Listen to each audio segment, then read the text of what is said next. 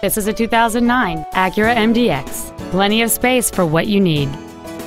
It features a 3.7-liter six-cylinder engine and an automatic transmission.